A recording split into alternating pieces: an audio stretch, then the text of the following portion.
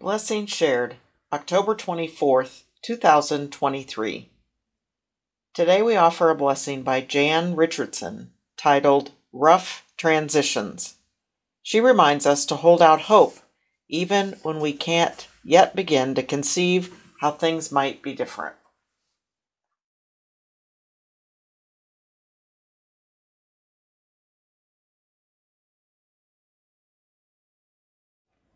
Hope, nonetheless. Hope, despite. Hope, regardless. Hope, still. Hope where we had ceased to hope. Hope amid what threatens hope. Hope with those who feed our hope.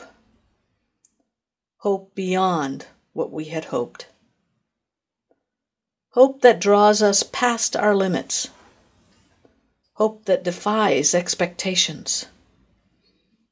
Hope that questions what we have known. Hope that makes a way where there is none.